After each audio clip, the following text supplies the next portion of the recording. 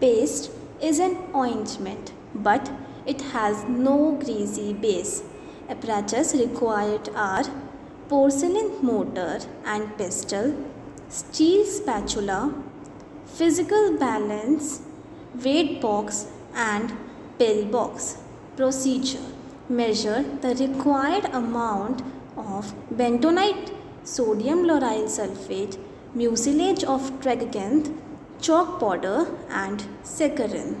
Bentonite act as binding agent and sodium lauryl sulfate act as a surfactant. Now, mix the ingredients in mortar and grind it with the help of pestle. Now, add 2 drops of methyl salicylate and peppermint oil which act as a flavoring agent.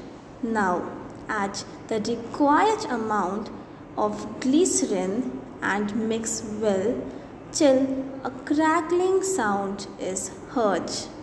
Glycerin is hygroscopic in nature, thus it prevents the drying of toothpaste. Now add the remaining amount of glycerin and mix them uniformly.